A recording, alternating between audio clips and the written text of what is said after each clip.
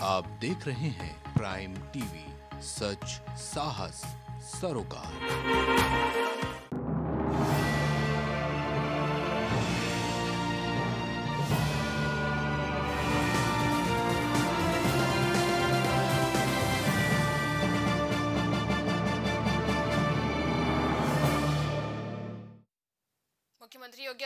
के आदेशों के बाद भी राजधानी लखनऊ के सड़कों पर परिवहन निगम की कबाड़ पड़े बस धड़ल्ले से दौड़ रही हैं। आपको बता दें कि सीएम योगी ने परिवहन निगम के कंधे पर एक बड़ी ज़िम्मेदारी देते हुए कहा था कि सड़क पर चलने वाली उन तमाम सरकारी और private bus truck, car, motorcycle व स्कूली बसों का फिटनेस चेक करें, लेकिन हालत वही के वही है।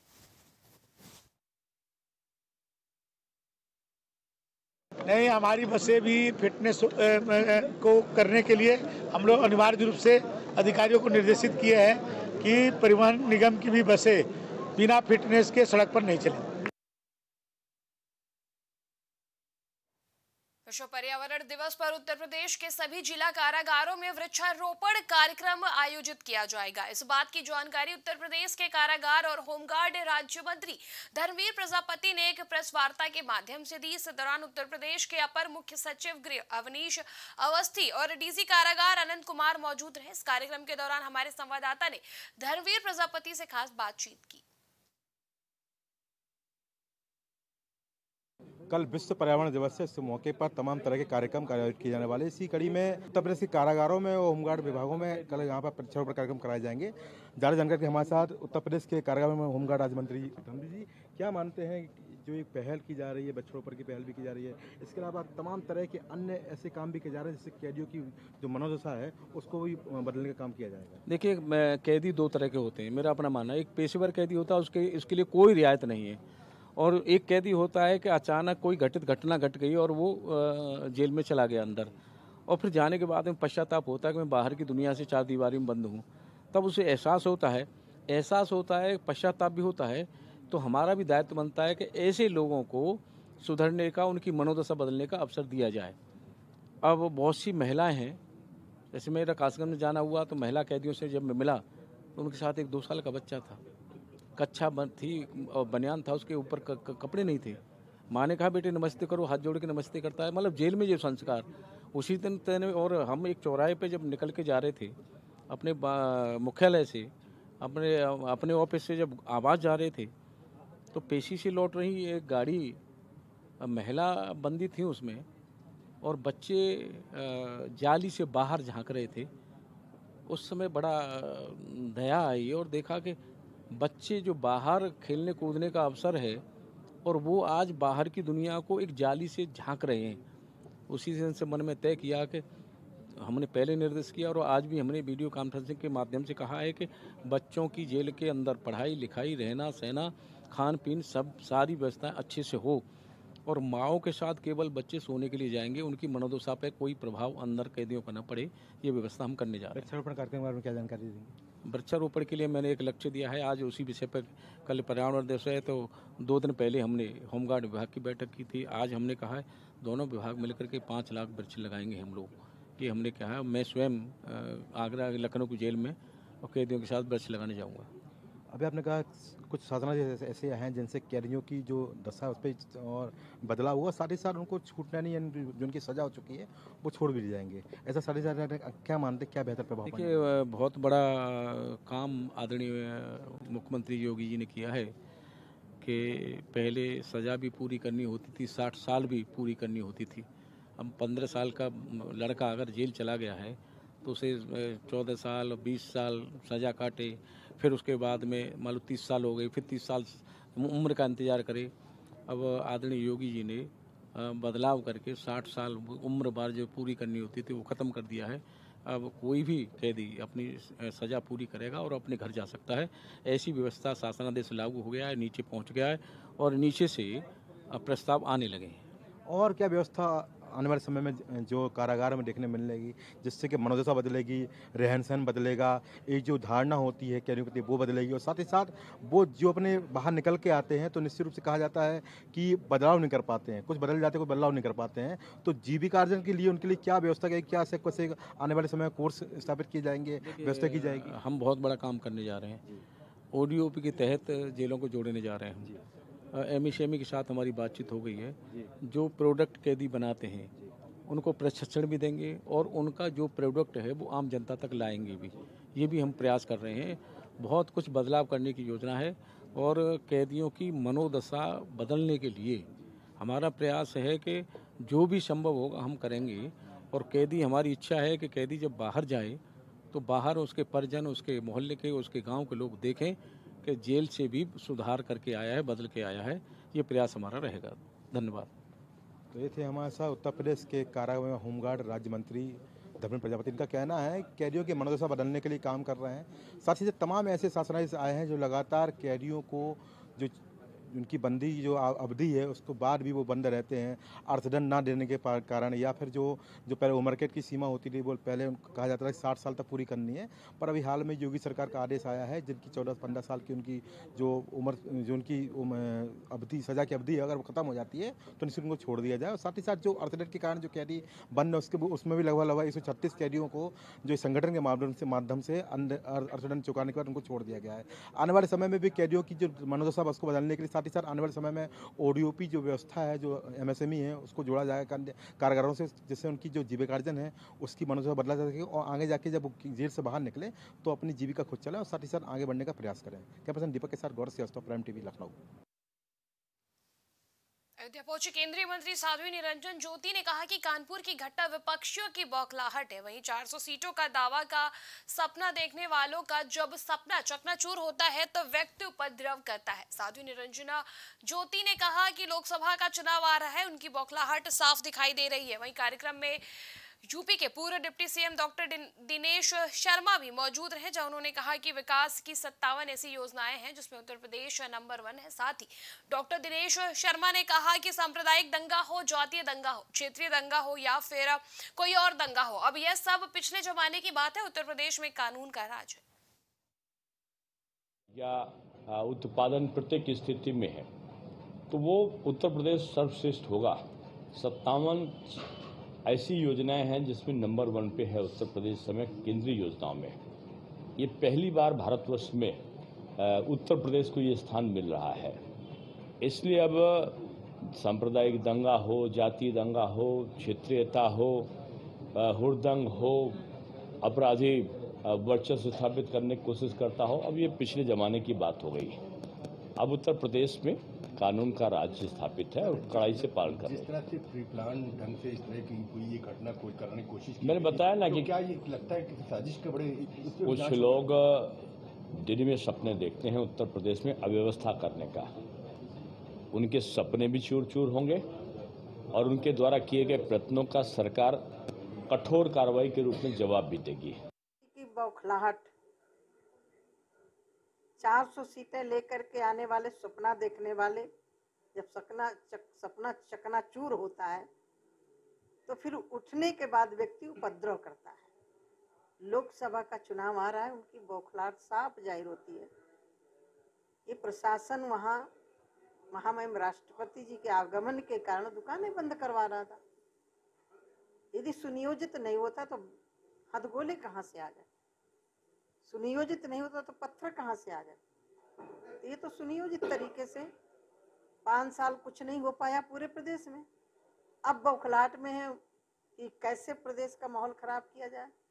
मुझे योगी जी पर पूर्ण विश्वास है कि योगी जी ऐसे लोगों को उनका जहाँ घर है वहीं पहुँचाएँगे। अलीगढ़ की कोतवाली सिविल लाइन क्षेत्र में आम आदमी पार्टी के कार्यकर्ताओं ने कश्मीरी पंडितों पर हो रहे अत्याचार को लेकर जिला मुख्यालय कलेक्ट्रेट पे पहुंचकर जोरदार प्रदर्शन किया। साथ ही प्रधानमंत्री के नाम एसीएम को ज्ञापन सौंपा गया और उन्होंने कश्मीरी पंडितों पर हो रहे अत्याचार को लेकर सुरक्षा मुहैया कराई जाने की मांग भी की। कश्मीरी पंडितों की जो निरंतर हत्याएँ हो रही है, छब्बीस से लेकर उनतीस कश्मीरी ब्राह्मणों की हत्या है ये दुखद है। और जो हाल नब्बे के दशक में था जब भी केंद्र में भाजपा के समर्थन से सरकार थी, और आज भी केंद्र का आठ साल से भाजपा की सरकार है, उसके बाद जिस तरीके से वहाँ पलायन शुरू हो गया है अठारह सौ में पलायन कर गए, और लगातार भय का माहौल बना हुआ है, लोग कश्मीर से छोड़ने के लिए तैयार हैं, लोग भाग रहे हैं। तो ऐसी जो घटिया जो राजनीति देश में हो रही है, एक तरफ़ स्वयं को हिंदुओं का ठेकेदार समझने वाले भाजपा के लोग देश में नरेंद्र मोदी जी की सरकार है। फिर आगे क्या ऐसा क्या मुरादाबाद में आम आदमी पार्टी के पदाधिकारियों ने कश्मीरी पंडितों को सुरक्षा प्रदान की मांग की। साथ ही डीएम को ज्ञापन सौंपा और पार्टी के वरिष्ठ नेता राशिद सैफी ने जानकारी देते हुए बताया कि जम्मू कश्मीर में एक महीने में कई टारगेट किलिंग के मामले सामने आए हैं, जिसके बाद सरकार से मांग है कि आतंकियों के खिलाफ सख्त कार्रवाई के निर्देश जारी किए जाए, जिससे कश्मीरी पंडितों को पलायन न करना पड़े और सुरक्षित माहौल में अपने परिवार के साथ गुजर बसर कर सके। देखिए, आज हम लोग जो इकट्ठा हुए थे तो हमारे जो उत्तर प्रदेश के प्रभारी हैं और राज्यसभा सांसद माननीय संजय सिंह जी, उनके निर्देश पर पूरे उत्तर प्रदेश के अंदर आज हमने जो कश्मीर के अंदर जो कश्मीरी पंडितों की हत्याएँ की जा रही हैं, उनके विरोध में आज हमने विरोध प्रदर्शन किया है पूरे उत्तर प्रदेश के अंदर। और एक ज्ञापन जो है, वो यहाँ के मुरादाबाद के जिलाधिकारी के माध्यम से राज्यपाल को भेजा है। और जिसमें हमने ये मांग की है कि कश्मीरी पंडितों के नाम पर सिर्फ़ फ़िल्में बनाकर करोड़ों रुपए ना ऐठे जाएँ, जनता की भावनाओं को से ना खेला जाए, बल्कि कश्मीरी जो पंडित हैं, उनकी हत्याओं को वास्तविक तरीके से रोका जाए और उनको सुरक्षा दी जाए, उनको न्याय दिया जाए और उनके विस्थापन को रोककर उनकी अलीगढ़ के क्वारसी थाना क्षेत्र में एक युवती ने यूट्यूबर पर छेड़खानी का आरोप लगाया है। महिला का कहना है कि उसका विवाद एएमयू प्रोफेसर के साथ चल रहा था। दरअसल प्रोफेसर महिला को ब्लैकमेल किया करता था, जिसकी शिकायत महिला ने पहले से ही पुलिस को दी थी। मदद के नाम पर शाहिद रजा ने महिला के घर पहुंचकर महिला के साथ कई बार छेड़खानी भी की। महिला ने जब इसका विरोध किया तो उसे जान से मारने की धमकी भी मिली। यूट्यूबर शाहिद रजा से परेशान होकर महिला ने वरिष्ठ पुलिस अधीक्षक से शिकायत की है। सी साहब के यहाँ आई थी, आज अपनी एप्लीकेशन लेके मेरी एफ़ आई आर दर्ज हुई थी ग्यारह तारीख में, दो हज़ार बाईस ग्यारह में। एक एम यू के डॉक्टर हैं डॉक्टर सऊद अली खान। उन्होंने और एक अतर परवेज़ और एक डॉक्टर अंजुम। इन लोगों ने मेरे साथ साथ रेप किया था। रेप किया था और करते आ रहे हैं अब तक। अब तो खैर नौ महीने से कोई मेरा ताल्लुक नहीं, नौ, आठ, नौ महीने से कोई एप्लीकेशन की वजह से एफ़ आई आर दर्ज हो गई है। सर एक शाहिद रज़ा करके एक यूट्यूबर है, वो अपने आप को कहता है कि मैं सोशल मीडिया से हूँ, मेरा बहुत बड़ा नाम है सोशल मीडिया में। सर, वो मुझे मेरे घर पे हेल्प के बहाने से मेरे घर आया था और उसने मेरा फ़ोन लेके मेरी मेरी और डॉक्टर की असली वीडियो अपने फ़ोन में ले ली थी। और मैं, सर, मुझे नहीं पता उसने किस वक्त मेरी वीडियो को ली, मैं नहीं जानती, लेकिन उसने मेरी वीडियो मेरे फ़ोन से ले ली। और वो वीडियो लगातार उसको वीडियो को दिखा दिखा कर मुझे धमकी दे रहा है, मेरे घर आता है कि या तो एक लाख रुपये दो और या फिर जो तुमने डॉक्टर और उनके साथ में हुआ, वो मेरे साथ में करो।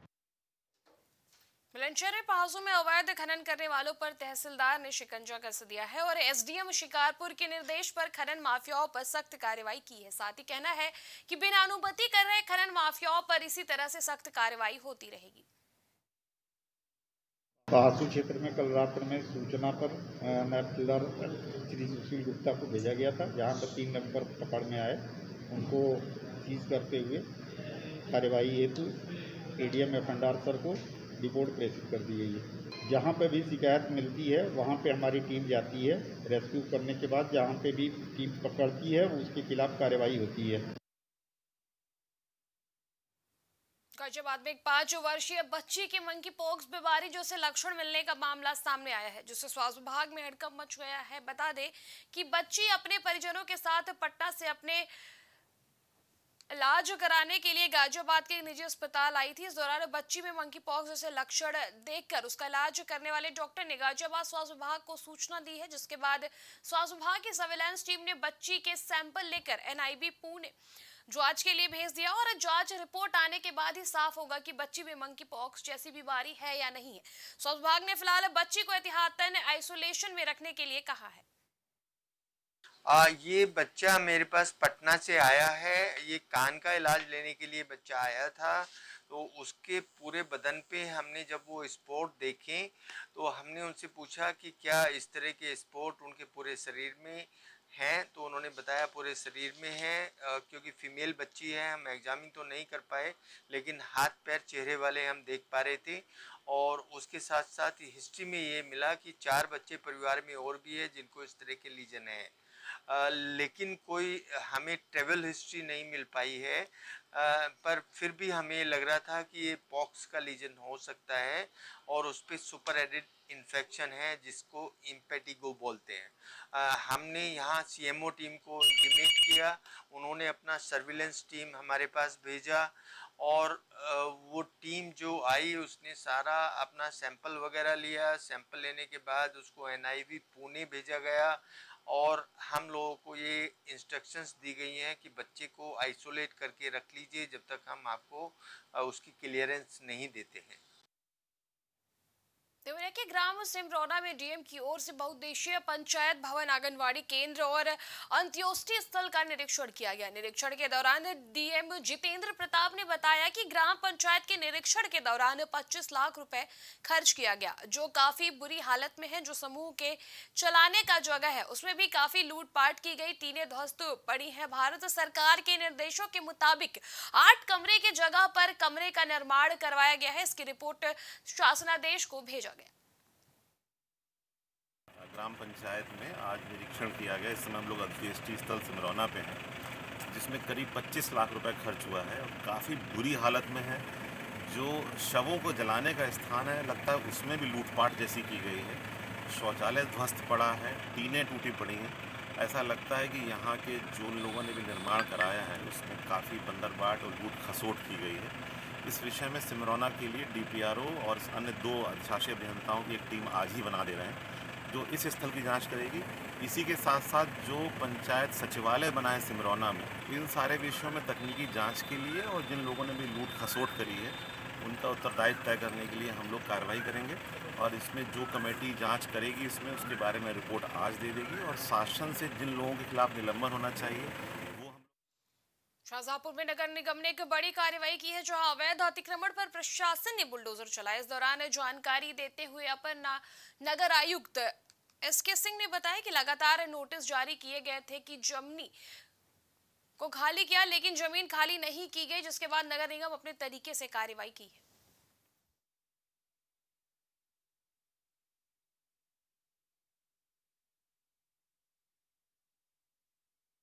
की संपत्ति है लगभग पाँच हज़ार स्क्वायर की जगह है ये। ये पूर्व में आवंटन थी तेजपाल सिंह को और तजिन पाल सिंह सॉरी तजिन पाल सिंह को अलॉटमेंट थी इन्होंने शर्तों का उल्लंघन किया था और लगभग एक साल पहले इनका आवंटन का निरस्त किया चुका है। इन्हें कई बार नोटिस दी गई कि इसको तत्काल खाली करके संपत्ति का कब्जा नगर निगम को दे दें बट उन्होंने नहीं दिया अभी इनको अंतिम नोटिस भी मैंने दी थी पिछले सप्ताह में बट उन्होंने नहीं इसका कब्जा दिया। तो इसके ऊपर नगर निगम ने प्रभावी कार्रवाई करते हुए अपना कब्जे में अपनी संपत्ति को हम लोग ले रहे हैं। प्रतापगढ़ में बम मिलने की सूचना पर इलाके में हड़कम मच गया। कानपुर में भीषण बमबाजी के बाद इलाके में एक बार फिर बम मिला है। खेत में रखे बम पर पड़ा मजदूर का पैर बच गया। सूचना पर पहुँची 112 की टीम ने बम को डिफ्यूज किया। इलाके में मई महीने में आखिरी सप्ताह में टाइमर बम का दो विस्फोट हुआ था। वही नौ साल पहले ट्रांजिस्टर बम का विस्फोट हुआ था। इलाके में बम बनाने वालों के गिरोह सक्रिय हैं। घटना रानीगंज, कोतवाली के दुर्गागंज बाज़ार के पास की है। फरुखाबाद में तहसील कर्मचारियों की बड़ी लापरवाही सामने आई है, जहाँ भीषण गर्मी में भी फरियादियों को पीने के लिए पानी और बैठने के लिए कुर्सी नहीं मिली। समाधान दिवस के आयोजन पर तहसील कर्मचारियों ने फरियादियों के लिए कोई व्यवस्था नहीं की, वहीं सीडीओ को कोई अव्यवस्था नहीं दिखी और तहसील कर्मियों की लापरवाही पर पर्दा डालने का प्रयास किया। रायबरेली में जर्जर हो चुके काशीराम आवास योजना के फ्लैट में रहने के लिए लोग मजबूर हैं और अरबों की लागत से बने कांशीराम आवास योजना महज 10 साल में जर्जर हो गया और फ्लैट के कई लोगों ने इसकी शिकायत भी की है, लेकिन किसी भी प्रशासनिक अधिकारी ने कोई कार्रवाई नहीं की। अभी कतिपय मीडिया के द्वारा जो संज्ञानित में आया है कि खोर में अवस्थित हमारी कांसीराम आवास योजना की गुणवत्ता अच्छी ना होने की वजह से प्लास्टर इत्यादि गिर रहे हैं। इस शिकायत को संज्ञान में लेकर के तत्काल इसकी जाँच कराई जाएगी। जाँच कराए जाने में जो दोषी लोग रहेंगे उनके विरुद्ध नियमानुसार कार्रवाई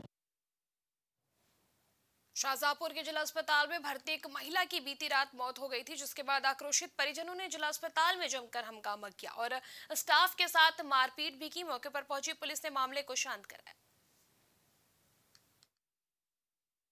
साढ़े बारह के आसपास सूचना मुझे मिली थी कि एक मरीज़ मंजू देवी जो महिला वार्ड सर्जिकल वार्ड में भर्ती थी। उनके देहांत होने के बाद परिजनों द्वारा कुछ व्यवस्था कर- की जा रही थी। मैंने पुलिस को सूचना दी थी कोतवाली पुलिस आ गई थी साथ में इंस्पेक्टर भी आए थे। उसके बाद कोशिश किया गया था कि बॉडी को हम उसको मर्सी में रखवा देते हैं। हम लोग का डिमांड थी कि लापरवाही हुई है उसकी जाँच के लिए हमने पीएम से बात की थी पीएम करवा देंगे बॉडी की। बॉडी जब भेजा जा रहा है मर्सी में, उस समय भी उनके घर वाले ज़बरदस्ती करके उनको बाहर ले जा रहे थे। पुलिस के संभल में पुरानी रंजिश को लेकर घर पर चढ़कर दबंगों ने लाठी डंडों से पिटाई की, जिसमें दो महिलाएँ गंभीर रूप से घायल हो गई। घायलों को सीएचसी जुनवाई अस्पताल पहुँचाया गया। रामपत ने आरोप लगाते हुए बताया कि रेखा दवाई लेने गई थी। पीड़ित ने घटना की तहरीर थाना जुन जुनावई में दी, लेकिन पुलिस ने कोई भी कार्रवाई नहीं की और कार्रवाई नहीं होने के वजह से उनके हौसले बुलंद है। अगर ऐसा ही माहौल रहा तो पीड़ित परिवार को पलायन करना होगा। मौके पर पहुँची पुलिस ने घायलों को अस्पताल पहुँचाया।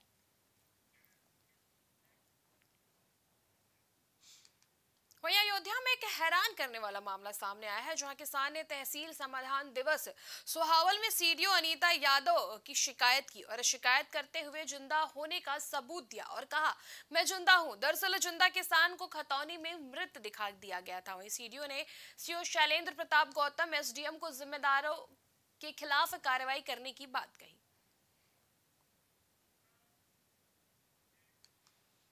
मैनपुरी में पुलिस ने हत्या और उनहत्तर भेड़ों के दो लुटेरे को गिरफ़्तार कर लिया और पकड़े गए आरोपी के पास से दो तमंचे और एक चाकू बरामद किया है। साथ ही आरोपियों ने अपना जुर्म भी कबूला है। वे आरोपियों को पकड़ने वाली टीम को अधीक्षक द्वारा दस हज़ार का इनाम दिया गया है।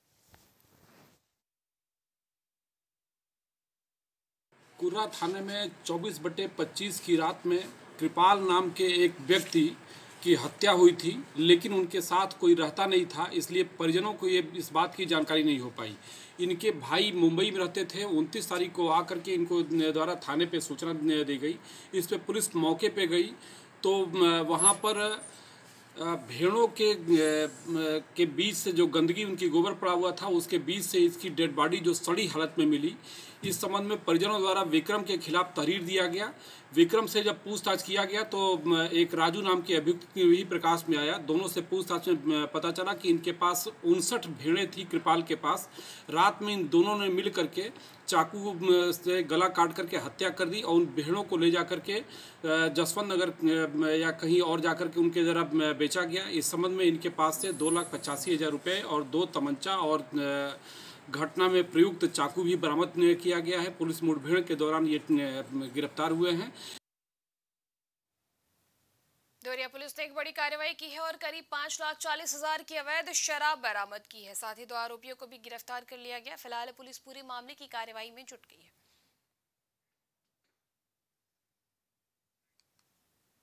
और में यमुना नदी में नहाने के दौरान दो युवकों की डूबने से दर्दनाक मौत हो गई। सूचना पर पहुँची पुलिस ने नदी में गोताखोरों की मदद से दोनों शवों को बाहर निकाला जिसके बाद शवों को देखकर परिजनों को स्टॉप दिया थाना कोतवाली औरैया क्षेत्र के अंतर्गत ग्राम मोहनी अस्ता के पास में जो यमुना नदी के किनारे है, आज दो लोग जो है नहाने गए थे वहाँ बता रहे हैं कि इनकी डूबने से डेथ हो गई। तत्काल पुलिस में पहुँच कर हॉस्पिटल लाया गया जहाँ पर इनको डॉक्टरों ने तुरंत घोषित कर दिया अग्रिम कार्रवाई करते हुए जो है पोस्टमार्टम की कार्रवाई की जा रही है। और यह कि मंडी समिति नेशनल हाईवे पर एक बड़ा हादसा हो गया, जिसमें दो लोगों की दर्दनाक मौत हो गई। वही मौके पर ही डीसीएम चालक को गिरफ़्तार कर लिया गया और दोनों शवों को पोस्टमार्टम के लिए भेज दिया गया। अभी जो है थोड़ी देर पहले जो है डीसीएम जो कानपुर से की तरफ़ जा रही थी अ, किनारे खड़े दो लड़कों को चलती हुई जो है निकल रही इसमें जो है जिसमें बाद में पकड़ा गया इसको जो है इसमें एक लड़की की जो तत्काल मौके पर मृत्यु हुई और दूसरा गंभीर रूप से घायल हुआ। जो गंभीर रूप से घायल हुआ है उसको तत्काल जो इस मौके पर पहुँच के इसको अस्पताल पहुँचाया गया है और जो मृत है उसको पंचायत की कार्रवाई करते हुए पोस्टमार्टम की रिपोर्ट भिजवाई रही के थाना अलापुर की ककराला पुलिस चौकी पर 2 मई को पुलिस द्वारा एक युवक को चौकी पर लाया गया था, जहाँ उसके साथ बेरहमी से मारपीट की गई करंट लगाया गया, जिसके बाद पाँच हज़ार रुपए लेकर उसे छोड़ा गया। इस मामले में परिवार काफ़ी दिन तक डरा सहमा रहा, लेकिन जब युवक की हालत बिगड़ी तो परिवारजनों ने आप बीती बताई और मामले की शिकायत एसएसपी से की। एसएसपी ने जाँच सीओ दातागंज को दी, जिसके बाद पुलिस कर्मी दोषी पाए गए। जनपद बदायूं के थाना क्षेत्र अलापुर के कस्बा ककराला की एक आवेदिका वरिष्ठ पुलिस अधीक्षक महोदय के कार्यालय में आकर उपस्थित हुई और उनके समक्ष प्राप्त पत्र दिया, जिसमें उसके बेटे के साथ मारपीट की घटना कारित हुई थी, जिसमें तत्कालीन चौकी इंचार्ज व चार आरक्षियों के नाम थे, जिनके द्वारा उसके बेटे के साथ मारपीट की गई।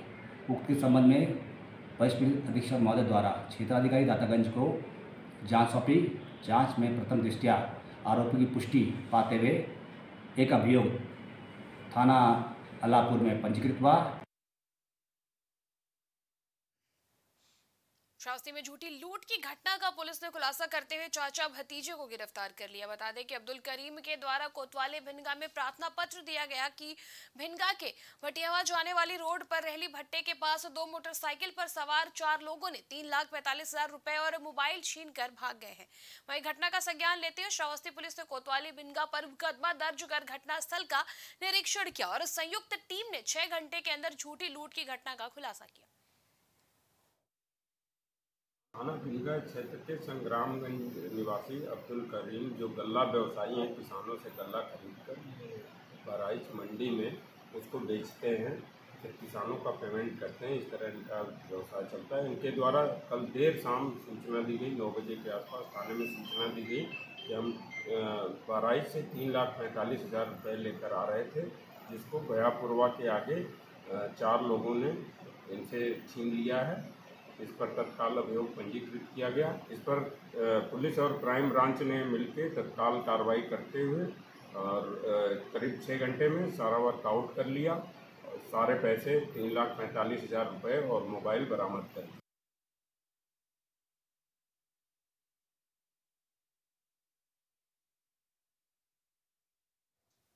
खबर औरैया से है जो ब्लॉक परिसर में आज ब्लॉक प्रमुख मिथिलेश यादव, खंड विकास अधिकारी मुनीश कुमार की अध्यक्षता में एएलएम के सौजन्य से दिव्यांग जनों और वृद्धजनों के लिए अंग वितरण शिविर का आयोजन किया।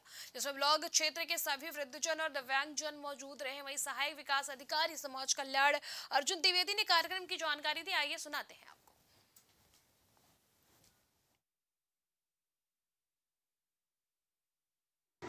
ऐसा है कि ये जो कैंप है भारत सरकार की तरफ़ से आई एक अधिकृत कंपनी है, उसके द्वारा इनको नामित करते हुए लगवाया गया है। इसमें सिर्फ़ दिव्यांग ही नहीं, दिव्यांग में जो व्यक्ति हैं, उनको तो उपकरण मिलेंगे ही, उनके लिए रजिस्ट्रेशन होगा ही। उसके साथ में एक वयोश्री योजना भी है, जिसके अंतर्गत जो भी व्यक्ति 60 वर्ष से अधिक का है, वो 60 वर्ष से अधिक होने पे लोगों के साथ कई प्रकार की बीमारियाँ, परेशानियाँ, चलने में, उठने बैठने में, कमर में दर्द और घुटने में दर्द इस समय तरह की समस्याएँ आती हैं।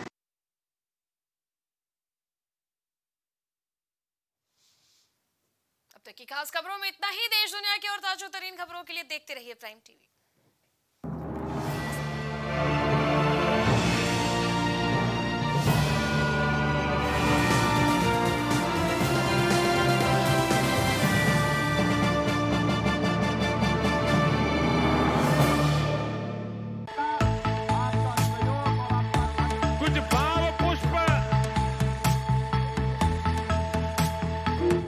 देख रहे हैं प्राइम टीवी सच साहस सरोकार।